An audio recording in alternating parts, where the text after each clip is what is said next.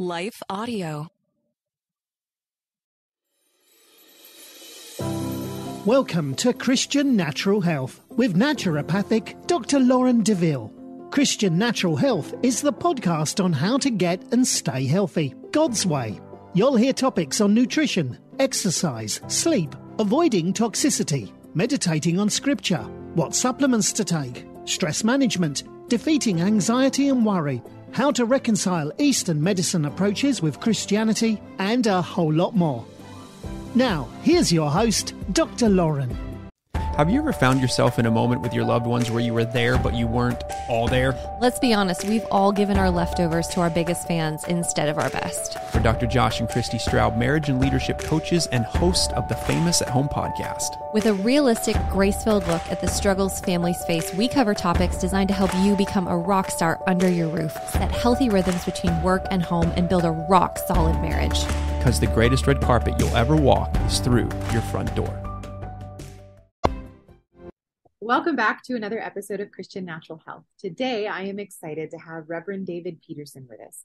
Reverend Peterson is an ordained pastor and a board certified chaplain with over 30 years of experience in ministry into congregations, as well as chaplaincy experience in hospitals, fire and EMS, law enforcement, and hospice. He's provided emotional and spiritual care on the scenes of devastating events from 9 11 to school shootings and various community tragedies.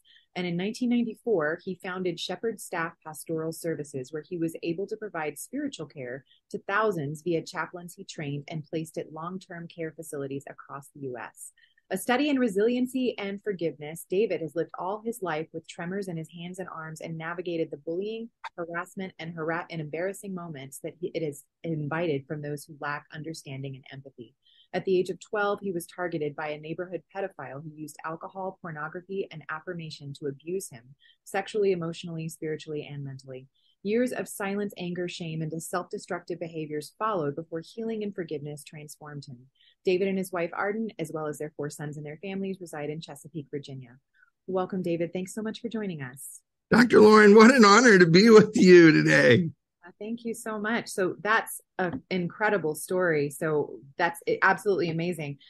Tell us a little bit about your journey for forgiveness. Like, I, I don't know how somebody would go about you know transforming everything that you've been through so so how, how did you do it and how do other people do it well, it, first off, it's it's not a me. It's a it's completely. Uh, I couldn't imagine doing this without the Lord, because God's presence in my life um, has brought me the greatest measure of comfort while I was going through it, through the difficulties, as well as um, provided the change um, to to uh, get me moving in the direction that He would have for me and that's a direction that leads to a much more transparent and real and um, connecting husband, father, pastor, and all that I do.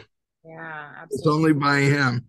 Absolutely. And so I think so often when we see these impossible mandates in scripture, the, the way that we do it is we don't do it by our own strength. We have to learn to rely on him. But sometimes that can feel like a Christian platitude, though. So, how does somebody go about actually relying on Him? Like, what, what do you tell people when they struggle with well, all, all, I could do is share from my own story. And, um, you know, I had to come to realize that there was a, a point in my life, uh, you know, it was around 35 or so. And now I'm married and I have at that point two kids. And, um, I come to realize that I have symptoms of unforgiveness that are just, you know, brewing in my life. And um, I had to come to realize that I had some things that I really needed to surrender to the Lord and for Him to get a hold of. And I had to realize that I was a junkie. Mm. I was addicted to unforgiveness, you know, and that that can happen. Right. And so, like many folks in the 12 step program recognizing you have a problem is the first step and then surrendering and saying god i can't do this without you is what i had dr lauren i had like a, a nuclear power plant that was inside of me and it was always energy. It was always manufacturing more anger and more bitterness. And um, it it was it provided its own anger, you know, energy source. And um, what I I've come to encounter is um, an authenticity in my relationships with others, including with myself and God, yeah, yeah.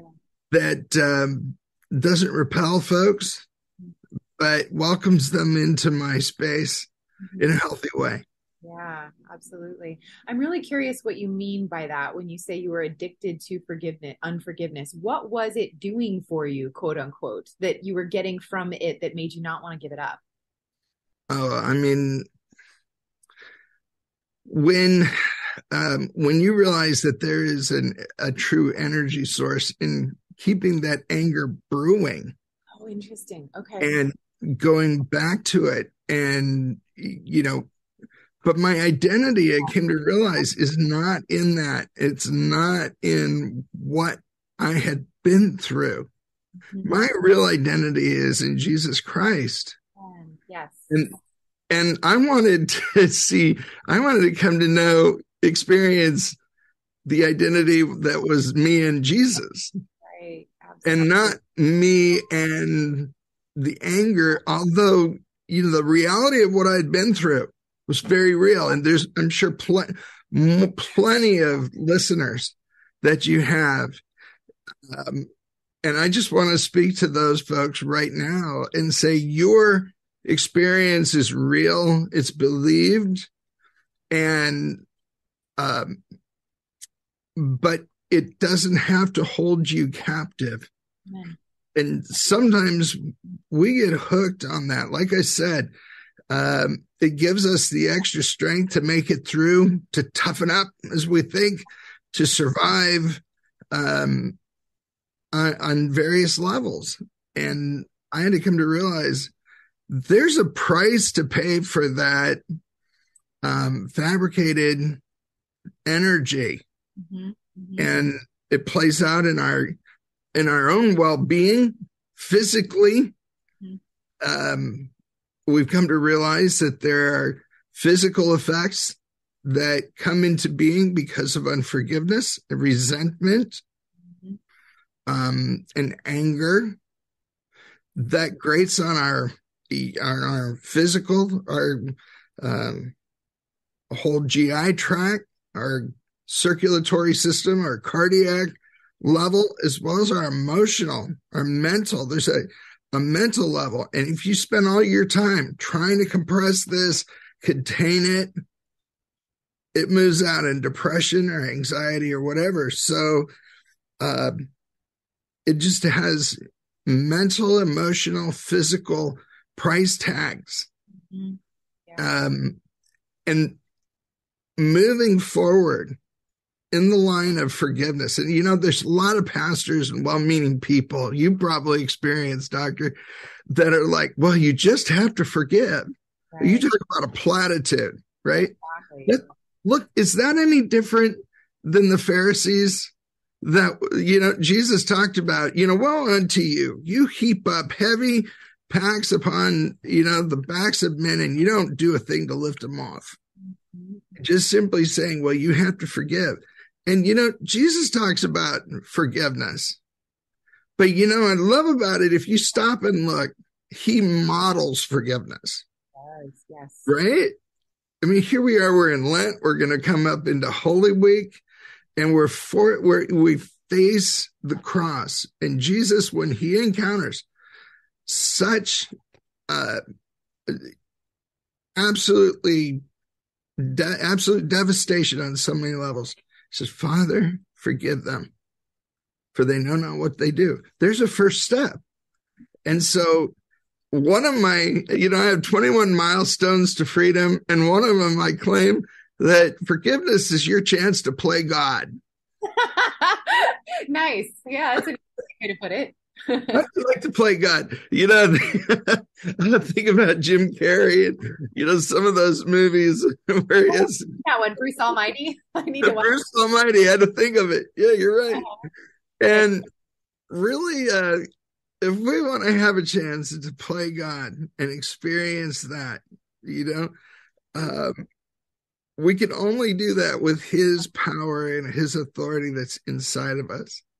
To say, you know, I forgive you. It does not, does not, does not, does not negate what you have been through. Absolutely. And that person may not deserve to be trusted again. Mm-hmm. But not everybody that hurts us or offends us absolutely intended to do that. And there's minor infractions. Uh, you know, even just the minor folks, the folks chip us off, or, you know, I, I call them sandpaper people. Yes. Uh-huh. Yeah, have you ever done that where you cut out a little, you know, cut out a little a little um, gingerbread man and out of out of sandpaper?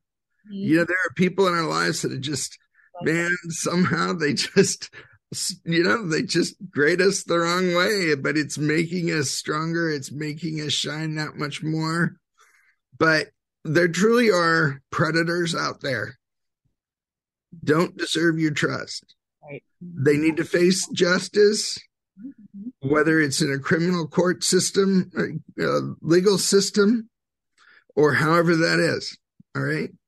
But then there's also folks, look, one of the greatest things Jesus said when he taught his disciples to pray was, um, forgive us our trespasses as we forgive those who trespass against us. What's that? It's basically a boundary violation. That's really what it's what a trespass is. And so sometimes we're going to say, hey, knock it off.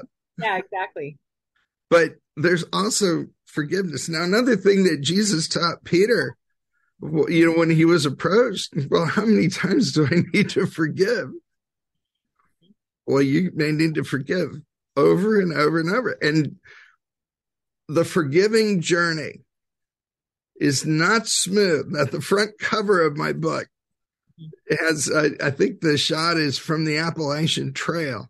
Mm-hmm. And there are challenges, there are, there are threats along the way on that journey of forgiveness. But uh, it's, it's, you take one step at a time. And I just tried to do some milestones of, like I said, of things that I found helpful.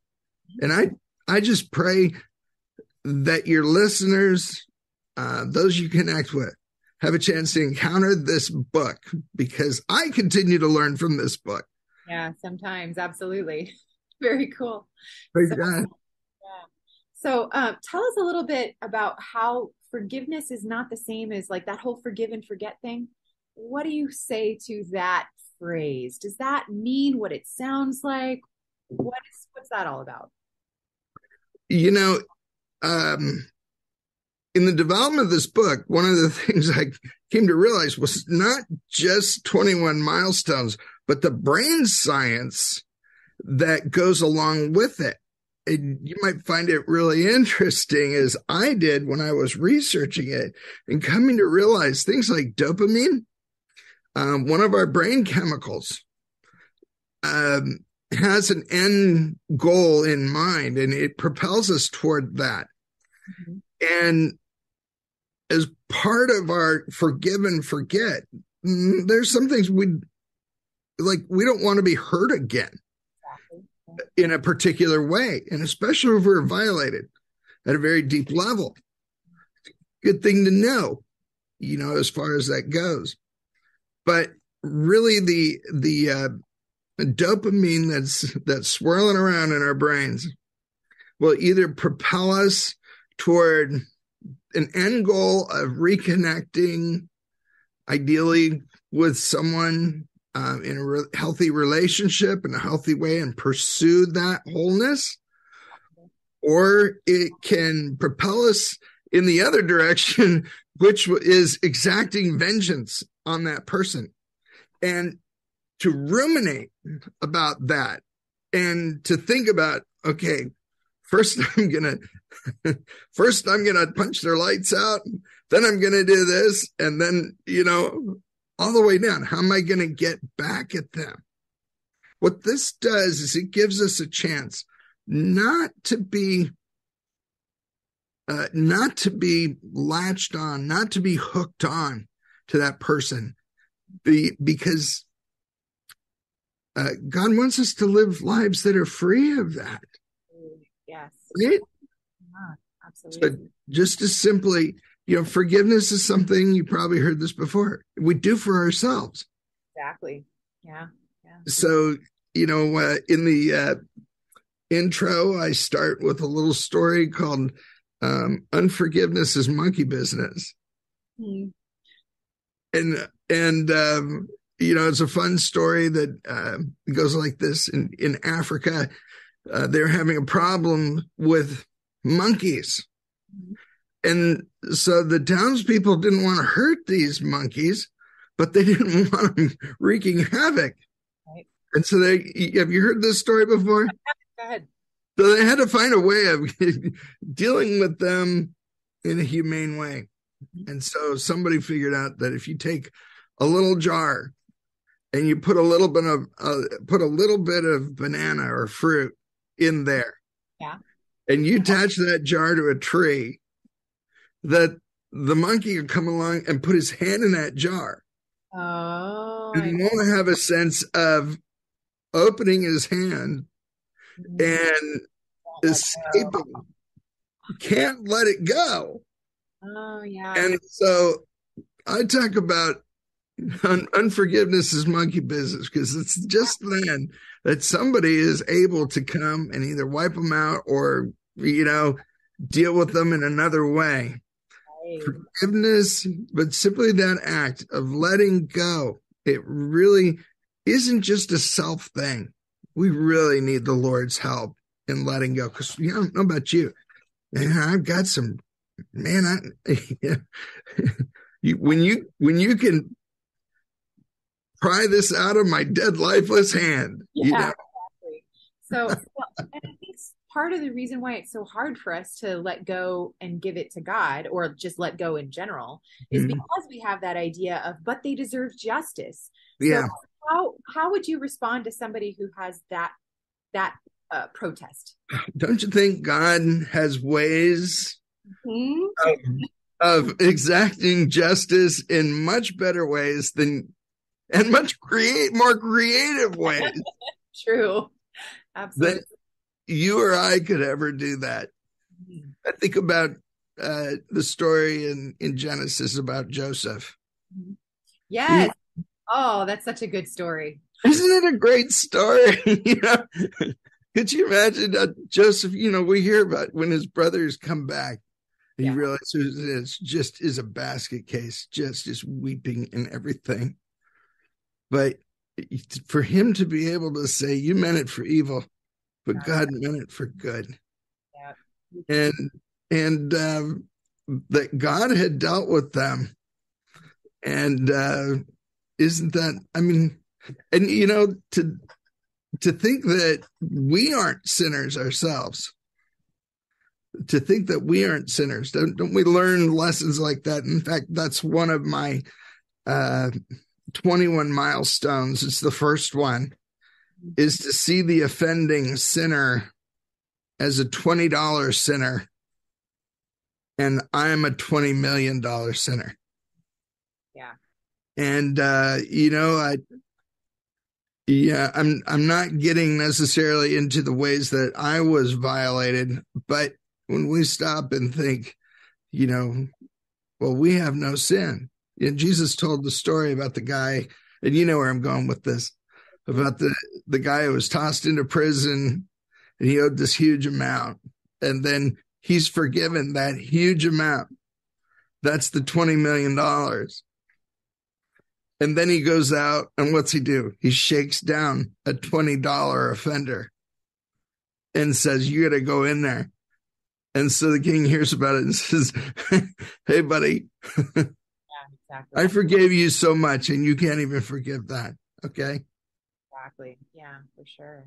So, what if somebody says, okay, I'm going to forgive, and with the Lord's help, you know, we're moving forward into that, but they're still angry and they're still hurt? What do you say to somebody that is experiencing that stage of the process?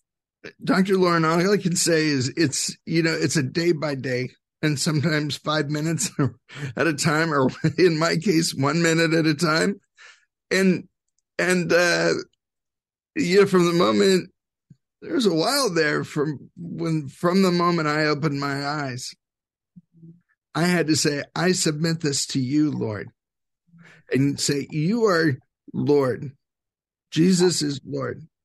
I need you to come and be Lord over this area of my life. Um, there's another, you know, one of my milestones where uh, I talk about, yes, we will go back and we will rethink it. We'll rehash it as if it could have been any different. And maybe it could have been.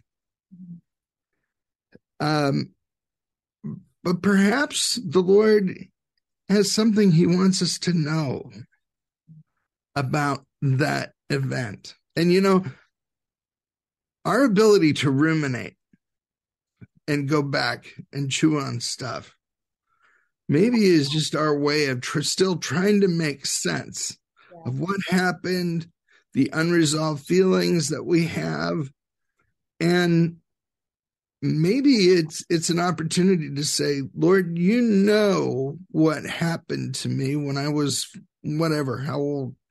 Mm-hmm. You were there when it happened. Mm-hmm.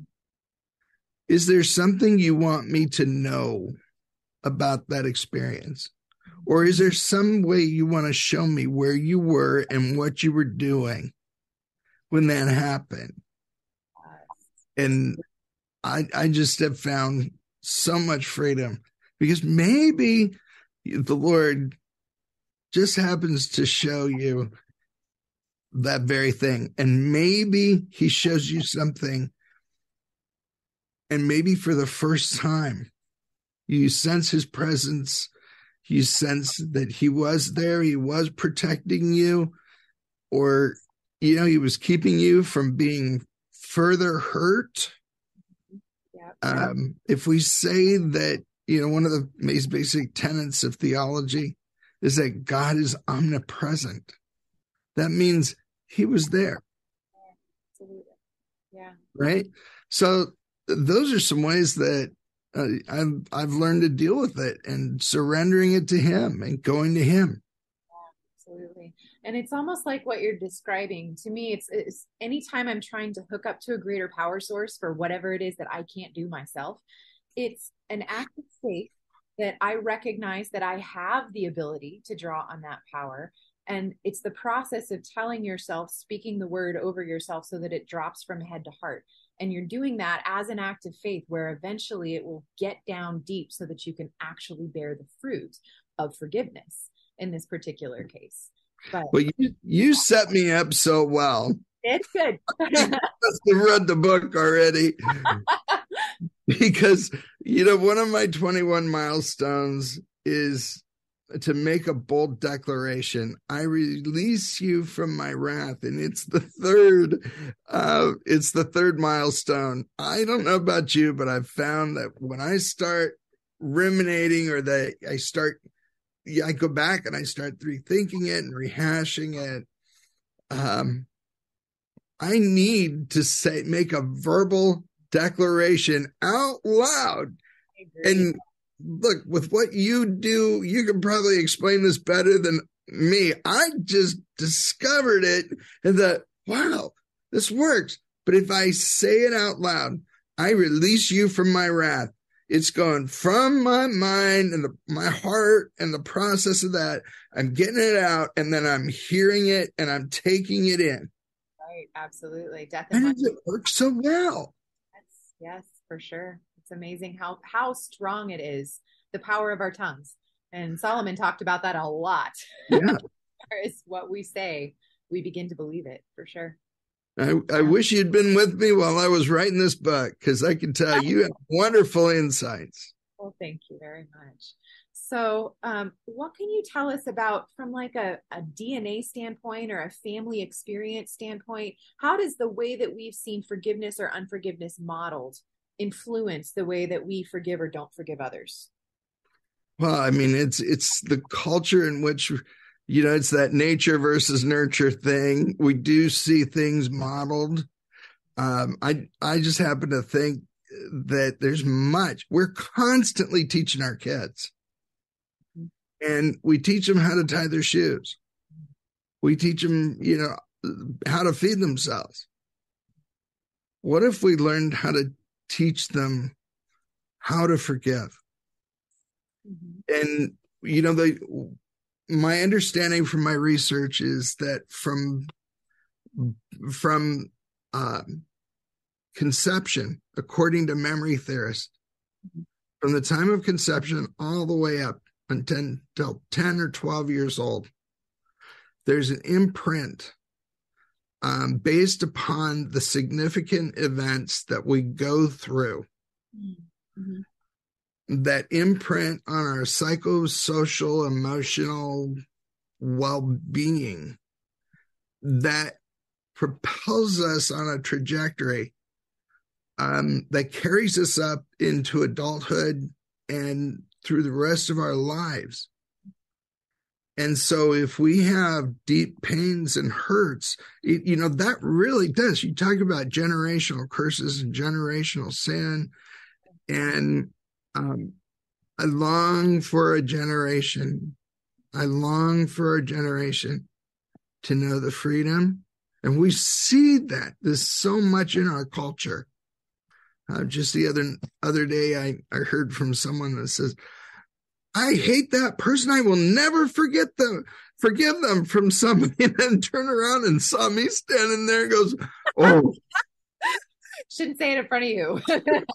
I should, not just because I'm a pastor, but because I had just written this book. Oh yeah. But hey, I can slip into that too. Any of us can, right? Absolutely. Um, and we learn from our parents. We learn, we see this, you know, from our generations, from from the people that we love very much.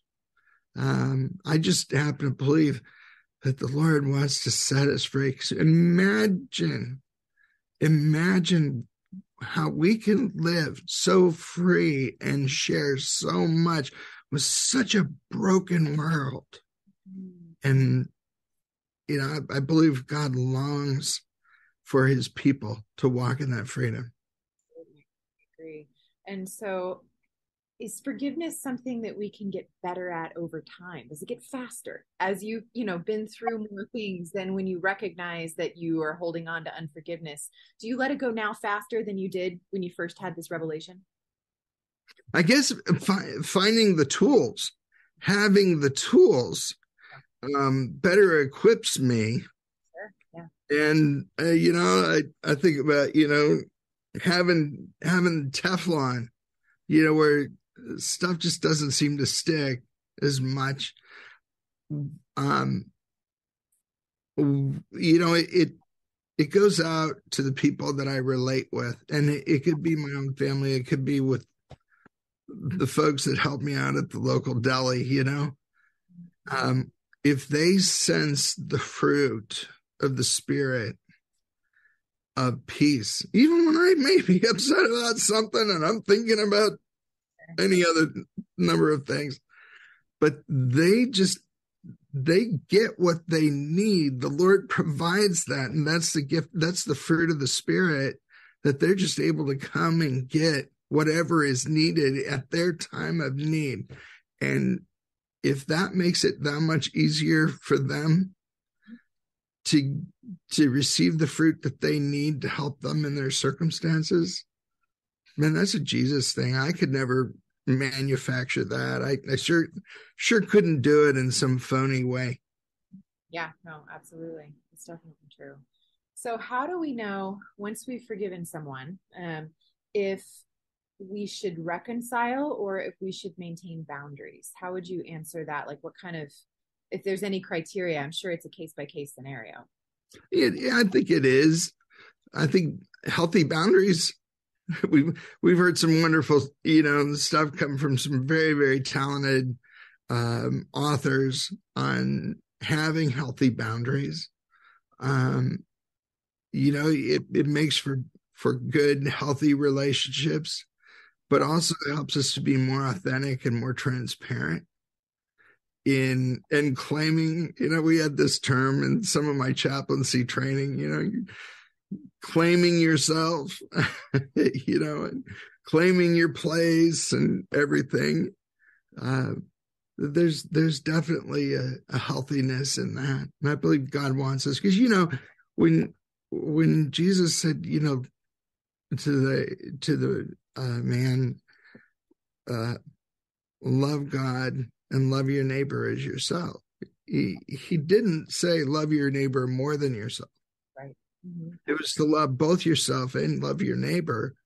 And there's a sense in which I believe uh, loving ourselves. You know how many people I talk with, um, and you know, especially I do a lot of men's ministry, and I'm you know I, I'm not ashamed of that. I really enjoy having a chance to minister to guys. Do you know how, how few of them are able to look in the mirror and say, I love you? Hmm. Wow. I don't know what your experience is, but to be able to look in the mirror and say, I love you. And even to start with, I like you. Right. Yeah. You know, you know that you're a great time. Jesus for Jesus for some reason thinks I'm a blast. I think just to keep him laughing. Right. Absolutely. Yeah, the self-talk in our culture is very negative in general. We're almost taught that that's the way that we should behave towards mm-hmm. ourselves. So yeah, that's that's a tough habit to break for a lot of people. Absolutely. Hmm. So, um, how can we know that we've actually crossed that threshold and truly forgiven someone, or is it always a bit of a back and forth? You know, um, in Journey to Forgiveness 21 Milestones to Freedom, um, I try and address that question. I, I think part of it is does this particular episode of being wronged still take up as much time? Mm, yeah. In your brain. And, and you know, I, I like telling folks don't let bums take up space in your brain unless they're paying for it. right. Yeah, exactly. Evict them. Right. Um, how much time is spent thinking about that? Imagine what you can do with the time and the energy now that you don't have to think about them. Mm-hmm. Mm-hmm. And how much more creative that you can be mm-hmm. in that. Think about, uh, and I think it's a fruit of the experience, but there's also, you know, it's a journey to be walked out. It is a journey. And sometimes, look, eh, you know, what are some of the things, you know, if we're hurting physically, if we're, you know, are experiencing loss or we're experiencing some some other kind of uh, pain in our life or we're sleepy. What what's the classics for for um, addiction? Uh, if we're hungry we're sleepy all of those things that get you know propel us down a road where we're a little bit more tempted. Mm-hmm. yeah. When uh, or or headed more towards self medicating or self pity or any of those things. Um, I think it's being real with ourselves. But you know what? I gotta just stress God loves you so, so much. Mm-hmm. And He knows that there are going to be times when you're going to have setbacks and, and potholes. Yep. Times when you're going to wrench your ankle on this journey of forgiveness. And you know what? Just walk in it, embrace it, and you know shake it off and move on. Okay. you know get back up get going again. So, you're resilient. Absolutely. So what have i not asked you that you want to make sure you leave with our audience? Oh you have grilled me. Dr. Lauren, you gotta oh my goodness, I'm no, I don't know how I'm going to recover. You, you know, I, you're fun. I, I, this is very enjoyable. It's a joy to be with you. Thank you. You know, um, come to know the healing presence of the Lord. And um, just keep moving. If I can just just put that out there, yeah, there's going to be times. Um, all I can say is, in if God can do the work in me, and you read my bio, you know my testimony. Um, one in six men were targeted by a, fe- a pedophile as a child. The statistics say one in four women were targeted for sexual abuse as children. If you can think of, you know, being in a uh, being in a room, a crowded room, and you think one of six, you have all these folks who are very, very broken, and the real question is, are they? What are they doing? How are they? Are they living free? Are they living in forgiveness? Um, being able to forgive those that wounded them. Um, unfortunately, with the statistics, and I'll tell you what, I'm thankful because the Lord is the only one who could help me beat the statistics. And it plays itself out in self medicating, it plays itself out in, um, you know, relationship disasters, and anybody can have them. It can play itself out in infidelity. It can, you know, um, um, ways that we try to cope in our own energy. And uh, all I could say is that if God could do the work in me, and, you know, and regardless of that, it's like David's smooth stone. If God can take the hard things in our lives, and just like that, you know, those five rocks that those five stones that David bent over and he pulled them out of the stream. Those those stones, no doubt, had encountered the water running over them. They'd also encountered the vibration of the water going over them. It knocked the garbage off, and they were just there waiting to be used. So David could come by for such an opportunity and pick up those hard things and pull one out of his his shepherd's purse and he could take that one and he could use that hard thing and he could propel that and get it to its target and slay a giant and we already know what he do with the other four goliath had four brothers I know. I was about to say I've heard that before. Very nice. And whether he's whether he was the one that threw all the stones from that point or somebody else did, if we can all pick up one of those stones, and you know, in our lives, and it brings freedom and wholeness to another human being. There is no there is no experience like that. And i'm seeing that with this book. And it's just it's a simple book. And i just pray that the word gets out. Forgiveness is a really big deal. Jesus was never never casual about forgiveness. Right? Absolutely. So tell us one more time where can people go to get your book and to find out more about you? I would love for folks to go check out davidpetersonbooks.com Okay. David Peterson, and that's with an S O N, davidpetersonbooks.com, or- which will direct you to Amazon. So if you prefer just to go hook up with Amazon, just go take a look at it. There's an author's bio.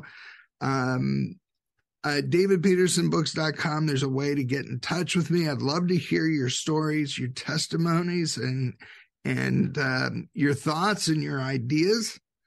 Um, it keeps me keeps me going, and I just I love hearing your testimonies because you're so real. So uh, go check that out. And if you you know you happen to want to catch some of my preaching, it's at apostles-lutheran.org. We're a spirit-filled, Bible-believing, born-again Lutheran church. Awesome. Thanks for allowing me to give a little plug. These yeah. are the folks that keep me going too. Yeah, absolutely. I will put all of those links in the show notes for anybody who wants to find them. And thank you so much for uh, for all of your wonderful wisdom and for being willing to be so transparent, Pastor David. That's it's been fantastic. Thanks, Dr. Lauren. Hit me up anytime. Hey there, it's Nicole Unice, host of the How to Study the Bible podcast, where every single week we join together to encounter God through His Word. You can subscribe at lifeaudio.com. Are you looking for a holistically minded healthcare practitioner who truly treats root cause rather than symptom suppression? Unfortunately, even in the alternative healing professions, this isn't a given. That's why I've created wholehealthdoctor.com, a resource to help connect patients to healthcare practitioners in their area who share a root cause philosophy. Alternatively, most of the practitioners listed also practice telehealth. So if there isn't anyone local to you, you can still find a great practitioner to help you regain optimal health. Go to wholehealthdoctor.com. That's wholehealthdr.com type in your location or adjust the specialty that you're looking for and find the practitioner who's right for you. Thanks for listening to Christian Natural Health. This show is run by you, so please write in with topic and guest suggestions for future shows. For more great content, subscribe to Dr. Lauren's blog at www.drlaurendeville.com or follow her on Facebook or Twitter at Dr. Lauren Deville. If you enjoyed the show, don't forget to share it with your friends and give us a five star rating in iTunes. It really helps us to stand out so other people can discover great content as well. Have a great week and God bless you.